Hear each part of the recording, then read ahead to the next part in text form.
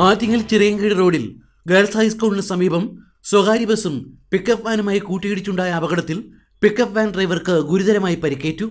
രാവിലെ പത്തേ മുക്കാൽ മണിയോടെയായിരുന്നു സംഭവം. ഡ്രൈവറെ തിരുവനന്തപുരം മെഡിക്കൽ കോളേജ് ആശുപത്രിയിൽ പ്രവേശിപ്പിച്ചു. അമിത വേഗതയിൽ വന്ന സ്വകാര്യ ബസ് മുന്നിലൂടെ പോയ പിക്കപ്പ് വാനെ ഇടിച്ചു തെറിപ്പിക്കുകയായിരുന്നു. ബസിന്റെ ചില്ലുകളും തകർന്നു. അമിത വേഗതയ്ക്കെതിരെ അധികൃതർ കർശന നടപടികൾ തുടരുമ്പോഴാണ് ആറ്റിങ്ങൽ ചിറയൻകീഴ് റൂട്ടിലോടുന്ന ചിത്തിര എന്ന സ്വകാര്യ ബസിന്റെ ഈ മരണപ്പാച്ചിൽ. ഇത്തരം സംഭവങ്ങൾ തുടരുമ്പോഴും സ്വകാര്യ ബസ്സുകളുടെ വേഗപ്പാച്ചിലിന് അറുതി വരുത്താൻ ആറ്റിങ്ങലിൽ കാര്യക്ഷമമായ നടപടികൾ ഉണ്ടാകുന്നില്ല എന്ന ആക്ഷേപം ശക്തമാണ്.